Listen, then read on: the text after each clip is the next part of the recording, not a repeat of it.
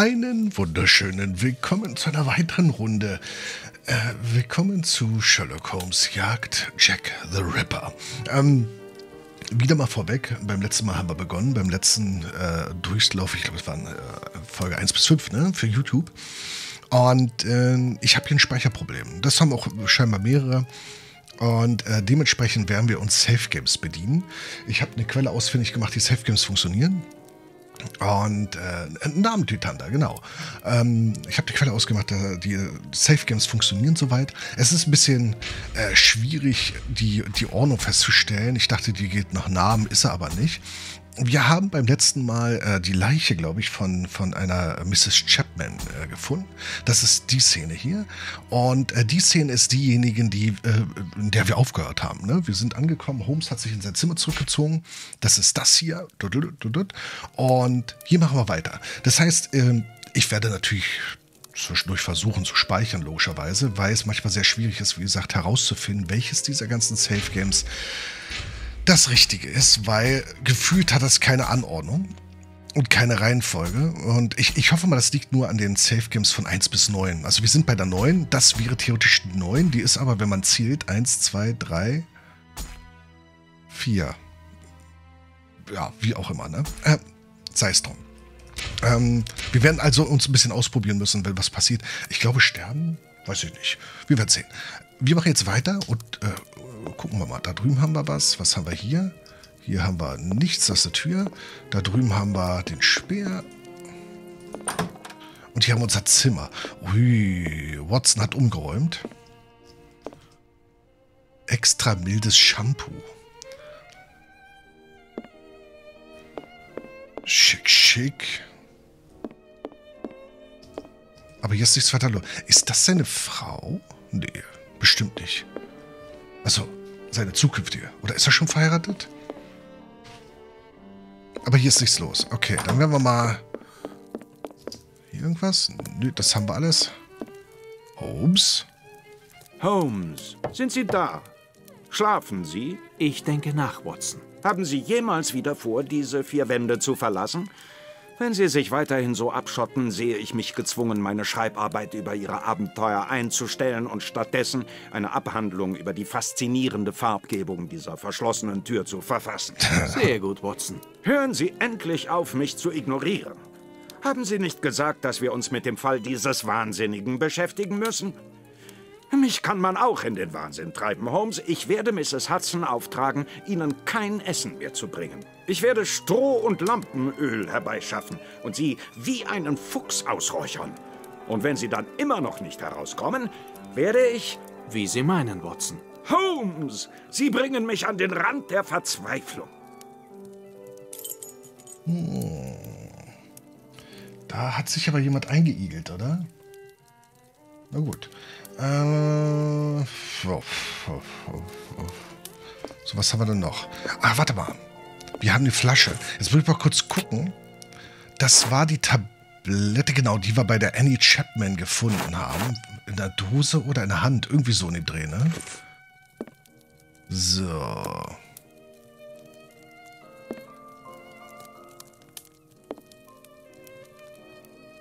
Okay, ja. Was habe ich Holmes hat den zerbrochenen Glasbehälter von Finlays Mieter untersucht. Ich frage mich, um welche Substanz es sich hier handelt.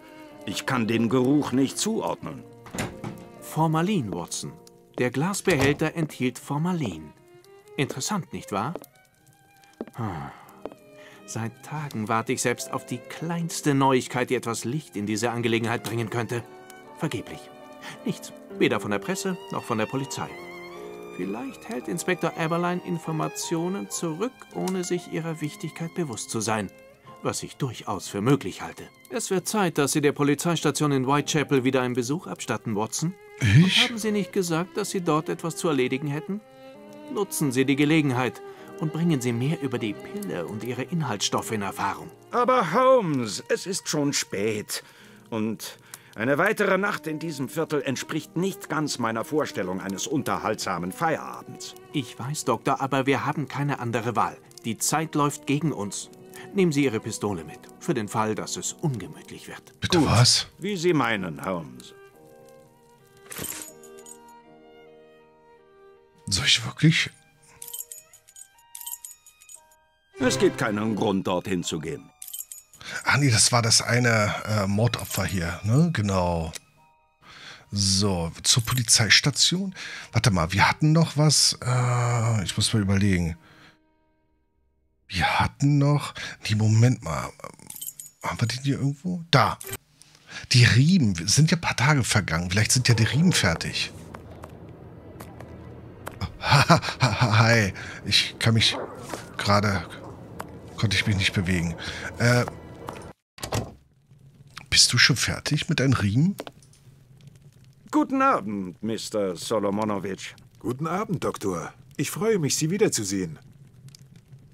Sind Sie soweit mit den Ledergurten? Ja, gerade eben fertig geworden.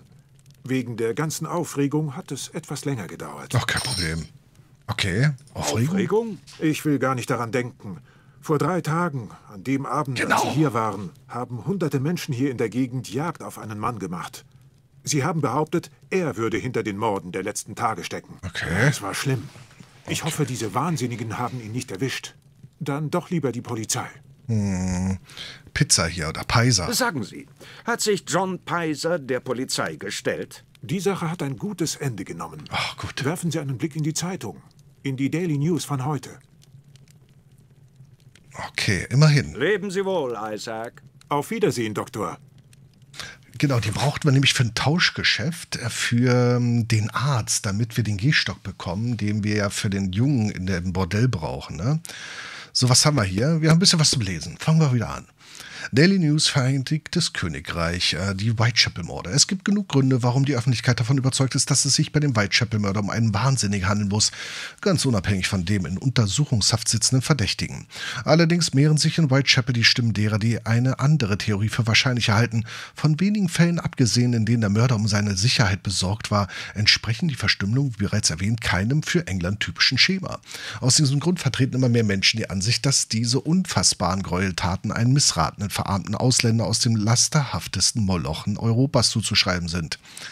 So munkelt man in Whitechapel von bösen Vorboten ausländischer Machenschaften, in die hier lebende Einwanderer verwickelt sein sollen. Die abwegigsten Gerüchte kursieren in diesem Viertel und schüren in zunehmender Maße Hass gegen die jüdische Gemeinde, der sich am, äh, im East End in einer noch schlimmeren Hetze zu entladen droht als im Ausland.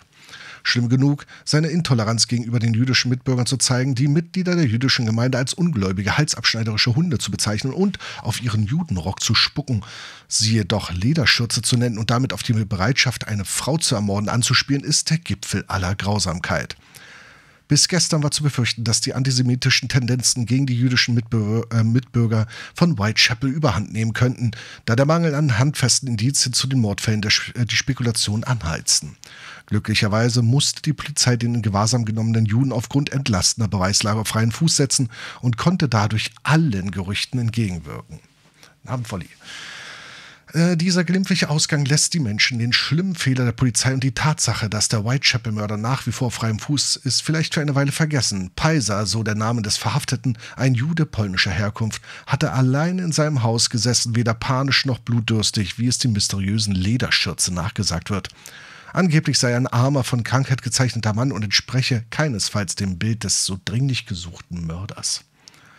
Nicht etwa die Polizei, sondern Journalisten fanden heraus, dass er sein Haus seit Donnerstag nicht mehr verlassen hatte. Dennoch hatte Peisers kurze Inhaftierung vielleicht sein Gutes, falls dadurch den antisemitischen Tendenzen der Wind aus den Segeln genommen werden konnte. Gestern erfolgte die gerichtsmedizinische Untersuchung der Leiche von Annie Chapman, brachte jedoch keine neuen Erkenntnisse in Bezug auf die Identität des Mörders. Die Ermittlungen im Mordfall Annie Chapman in Whitechapel resultierten in, äh, gestern in die Festnahme zwei Verdächtiger. Bei diesen Männern handelt es sich um den erwähnten Peiser, der nahe dem Tatort festgenommen wurde, und einen gewissen Pigot, der in Gravesend gefasst wurde. Peiser wurde ja bereits letzten Abend wieder auf freien Fuß gesetzt, während Pigot weiterhin aufgrund psychischer Labilität unter Beobachtung stehen. Und hier steht irgendwas mit ein zehn Stunden währendes Dingsbums. Okay. Also wir haben wir können jetzt zum, zum Arzt. Wir gehen auch zum Arzt. Der ist ja gleich. Doch, der ist gleich über gegenüber, ne? Ach, die Blumenfrau. Eine andere Blumenfrau. Boot and Shoes. Ähm, da war das. Na, Champagne, altes Haus.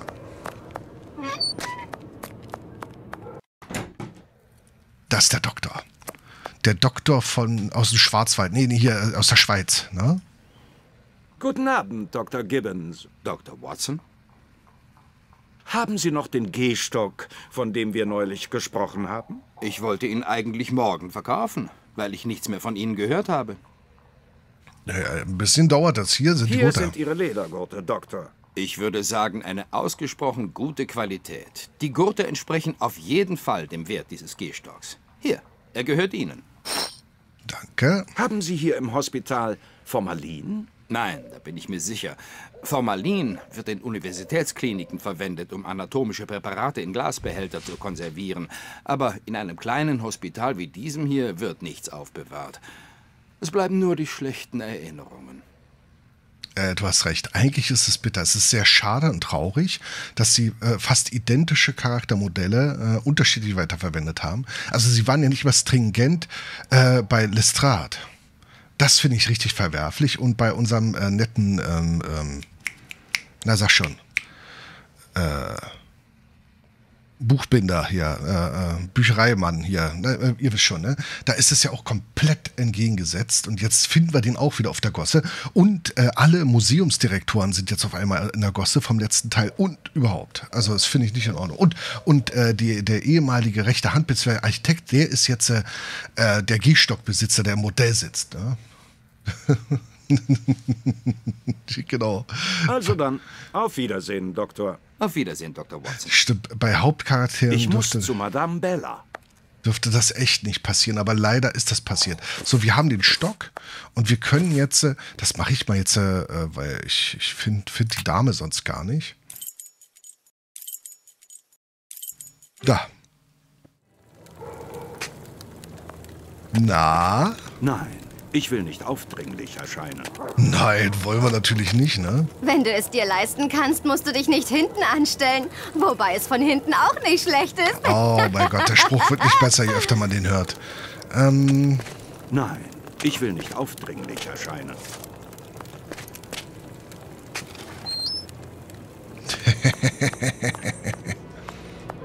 Ah nee, falsche Tür. Die da. Da, wo das rote Licht ist. So. Wo ist er denn? Der nette Herr. Ich hab den Stock. Oh. Warum nicht hier eine Waffe? Äh, guten Abend, Ma'am. Ähm, die Tür war offen. Ist das nicht etwas gefährlich? Guten Abend, Doktor. Keine Sorge. Sollte jemand reinkommen, der mir nicht gefällt, kann ich ihn mit meiner Pistole sicher davon überzeugen zu gehen. Aha. Kannten Sie zufällig Annie Chapman, die unglückselige Frau, die vor drei Tagen ermordet wurde? Dark Annie? Wie alle Straßenmädchen dieser Gegend habe ich sie vielleicht ein- oder zweimal gesehen. Man soll ja nicht schlecht über die Toten reden, aber sie war nicht gerade eine Schönheit.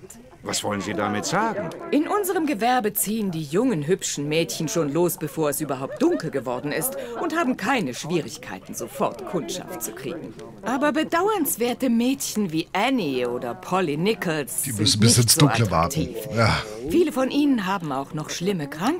Uiuiui. Manchmal stehen sie die ganze Nacht in der Kälte und im Regen, bevor sie einen Kunden finden, was sie auch nicht attraktiver macht.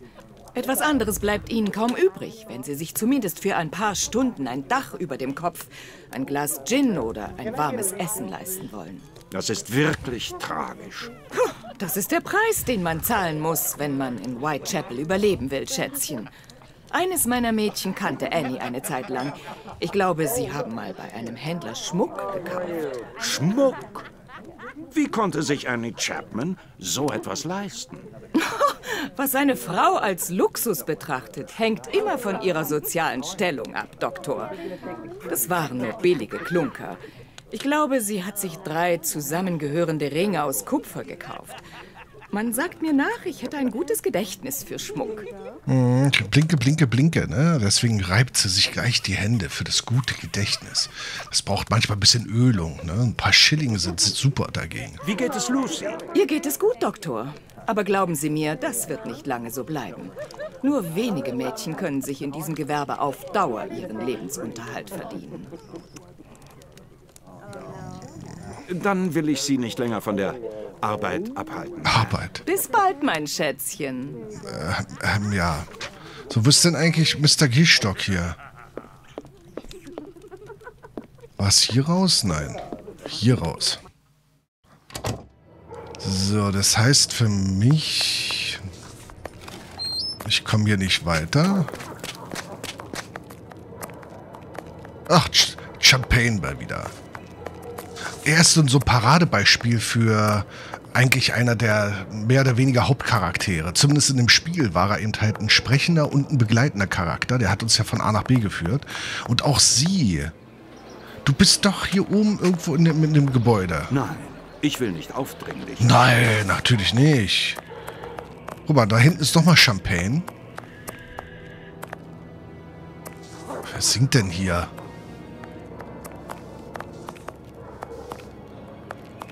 Wo ist jetzt Champagne hin? Hier war doch eben noch Champagne. Ersetzen sich die, die Charaktermodelle, wenn man nicht hinguckt und dann kommen andere hin, damit das den Anschein hat, als würde sich die Welt ändern? Der war doch eben auch noch nicht da. Ach, du armer Architekt. Hm, ein Seemann auf Landurlaub. Fehlen die Planken, ne?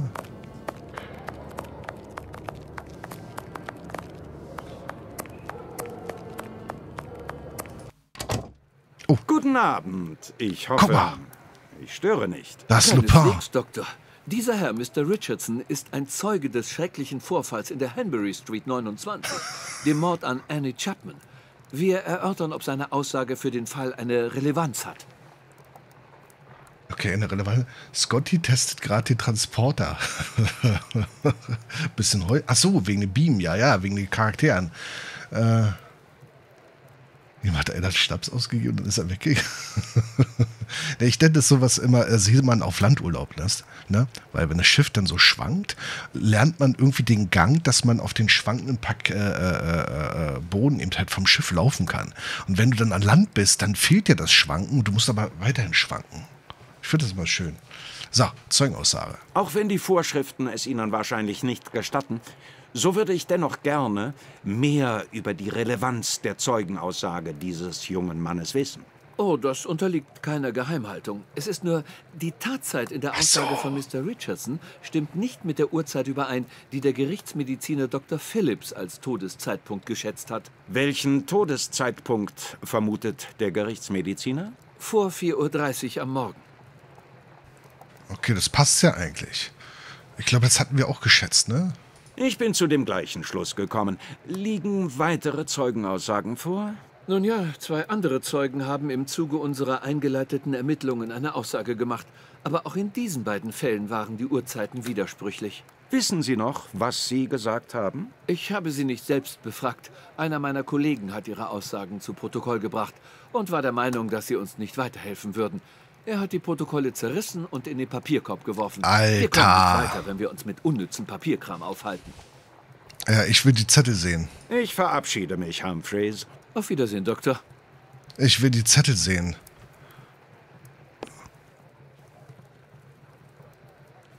Mein Gott, Lupin. Darf ich mich vorstellen? Mein Name ist Dr. Watson. Ich bin... Sind Sie nicht der Typ, der diese Detektivgeschichten für die Zeitung schreibt? Ja, in der Tat. Meine Geschichten werden im Strand veröffentlicht. Ich werd verrückt, wenn ich das meiner Mutter erzähle. Wie es scheint, gibt es nach Ihrer Zeugenaussage Gesprächsbedarf. Können Sie mir verraten, worum es geht? Ach, die meinen, dass ich da was mit der Uhrzeit durcheinander gebracht habe. Aber da täuschen die sich. Ich weiß, was ich in dieser Nacht gesehen und was ich nicht gesehen habe. Können Sie mir sagen, was Sie zu welcher Zeit gesehen oder nicht gesehen haben? Das verrate ich Ihnen gerne. Der Garten, in dem die Leiche gefunden wurde, gehört zu dem Haus, in dem meine Mutter wohnt. Sie hat unten rechts im Treppenhaus ihren Laden. Es ist noch nicht lange her, da war die Tür zum Treppenhaus kaputt. Wissen Sie, da ist oft ziemlich viel los, vor allem was das Oh, so horizontale erzählen. Gewerbe betrifft. An dem Morgen, als das Ganze passiert ist, wollte ich nachsehen, ob die Tür wieder in Ordnung gebracht worden ist. Es war Viertel vor fünf, als ich dort angekommen bin. Das schwöre ich beim Leben meiner werten Frau Mutter. Ich habe nachgeschaut, ob sich jemand am Weinkeller zu schaffen gemacht hat. War aber nicht der Fall. Danach habe ich mich auf der Treppe im Hof ausgeruht, weil meine Schuhe so gedrückt haben. Ich habe unterhalb der Treppe nichts gesehen, Doktor. Überhaupt nichts. Wäre da eine blutüberströmte Lady gelegen, dann frage ich mich, wie es sein kann, dass ich sie nicht gesehen habe, auch wenn es Nacht war. Ja, genau. Fünf Minuten nachdem ich bei Haus Nummer 29 eingetroffen war, musste ich mich um meine Schuhe kümmern. Und jetzt behaupten die doch glatt, dass ich entweder nicht mehr weiß, wie spät es war, oder dass ich meine Schuhe neben einer frischen Leiche in Ordnung gebracht habe. War's das? Schönen Abend noch, Gentlemen. Und tschüss. Und tschüss. Ähm, der hat aber auch geredet ohne Punkt und Komma, oder? So, wo ist denn der Papierkorb? Hier wurde doch irgendwas im Papierkorb geschmissen, oder hier? Diese Polizeistation erinnert an einen Waschsalon. Skandalös. Hier, hier. Oh, Die zerrissenen Protokolle von den Zeugenaussagen. Ich kann versuchen, sie wieder zusammenzufügen. warte mal, da war aber noch was, warte. Achso, das gehört zusammen. Oh nee, doch nicht. Ähm, April 1886 mit vorgehaltener Waffe vom White Plume Mountain Inn, auch bekannt als die Kojak-Affäre. Ah nee, Kajak. Fünf Jahre Dartmoor. Benjamin Benny, der gelehrte Faggot, 46 Houndstitch, Fälschung von Bankberichten, Verwendung gefälschter Berichte, Missbrauch von Anlagefonds, Geschädigter, Royal Bank of London, acht Jahre Dartmoor. Jakob Levy, 30, Aldgate, Fleischdiebstahl, Geschädigter, Hyman Stamson, Metzger in der Goldston Street, 58, Whitechapel. 20 Monate Essex County Anstalt. Ron Obvious. Das ist aber sehr, sehr obvious, ne? 26, Wohnort unbekannt, Landstreicherei, Veruntreuung, sexuelle Nötigung, Schändung eines religiösen Gebäudes. Geschädigter Vorstand des Chichester Cathedral, City of London Anstalt, unbestimmte Aufenthaltsdauer. James Langwood, der klingt aber sehr, sehr Ein alter seltsam. Bericht über Festnahmen von vor einigen Jahren. Ja, kurz die Brille putzen. So, Brille auf.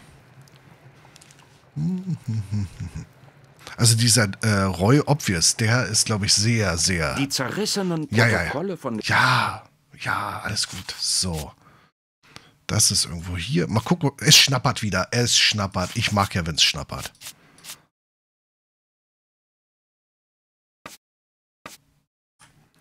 Es schnappert aber global, ne? Also nicht an der richtigen Position, aber schnappert so einigermaßen. Sowas zum Beispiel schnappert. So. Und das schnappert. Wir uns erstmal auf die Ecken konzentrieren. Ich denke mal, das wird so eine Ecke sein. Mal schauen. Oh, da sind zwei Ecken so. Okay. Obwohl, hier ist doch eine andere Ecke. Ah, nee, es sind ja zwei unterschiedliche Zettel, ne? Zeugen. Aussage von A.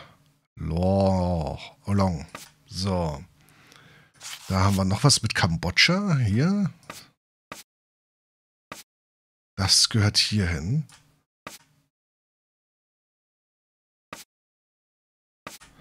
Dann gehört das hier drüben hin. So. Ich packe das erstmal so hin. Das passt dahin. Ob das dahin gehört, wissen wir ja noch nicht. Das passt super hier an der Ecke. Äh so, das ist auf alle Fälle hier schon mal richtig. Das wird irgendwas hier sein. Und das ist, was hier ist. Und das gehört hier hin. Sehr schön. So.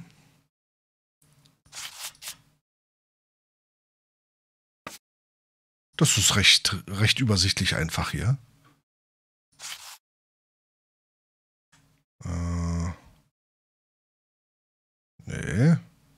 Hä? Äh. Äh, doch hier. Oh.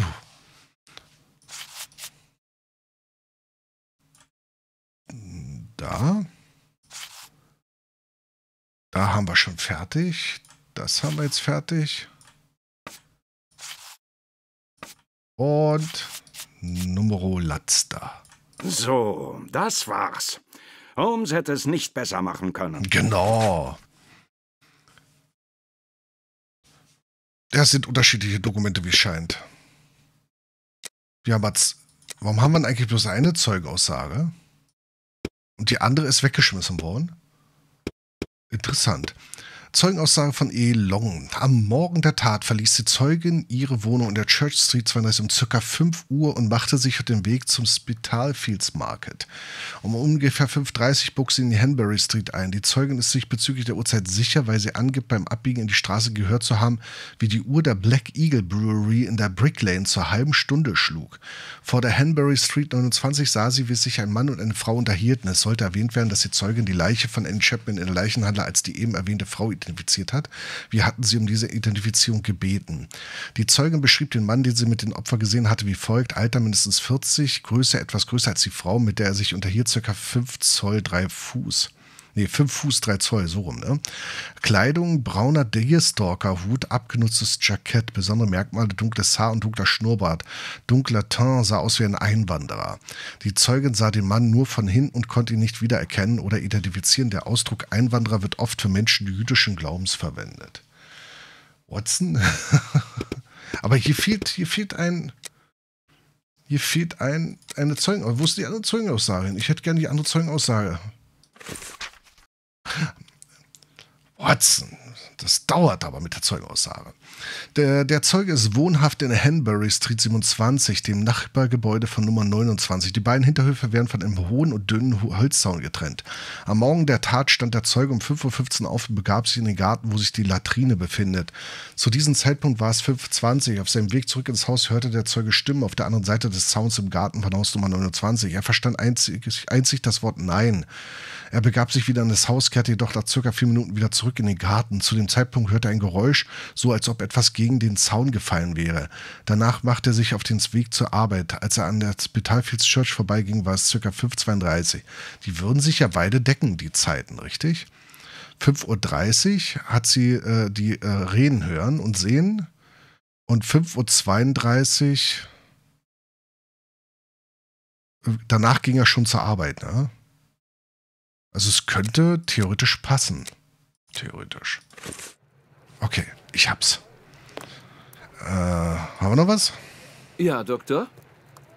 Und wie schreiten die Ermittlungen zu den zwei jüngsten Morden voran? Jeder hier in der Gegend glaubt, dass beide Morde von ein und derselben Person verübt wurden. Aber niemand in der Bucks Row und Hanbury Street hat etwas gehört oder gesehen. Die Frage ist, ob es wirklich dieselbe Person ist. Ach übrigens, haben Sie schon einmal von einem gewissen Dr. Tumblety gehört? Ähm, nein. Ist es wichtig? Ja, nein, vielleicht. Genau genommen bin ich mir nicht sicher. Ich habe von diesem Mann und seinen häufigen nächtlichen äh, Ausflügen gehört. Außerdem verhält er sich etwas merkwürdig. Wie sieht dieser Bursche aus, Doktor? Und wo finden wir ihn? Das Letzte, was ich über ihn gehört habe, war, dass er sich in Finleys Pension eingemietet hat. Finley ist der Mann, der vor einigen Tagen nach mir gefragt hat. Es würde uns enorm weiterhelfen, wenn Sie Finlay fragen könnten, wie dieser merkwürdige Kerl aussieht. Anschließend können wir überprüfen, ob die Beschreibung zu einer Zeugenaussage passt. Ja. Ich verabschiede mich, Humphreys. Auf Wiedersehen, Doktor. Okay. Ähm, das heißt. Warte mal. Oh, der ist neu. Dessen Bruder ist da drüben mit den gleich. Die tragen sogar die Hemden identisch. Das ist so klasse. Nein, ich will nicht aufdringlich. Du bist doch umgebracht worden. Oh.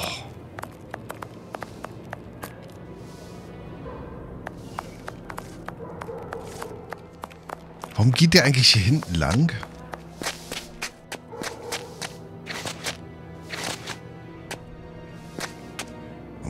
Komische Geräusche hier? Sagen Sie. Sie sollten langsam nach Hause gehen, Sir. Okay.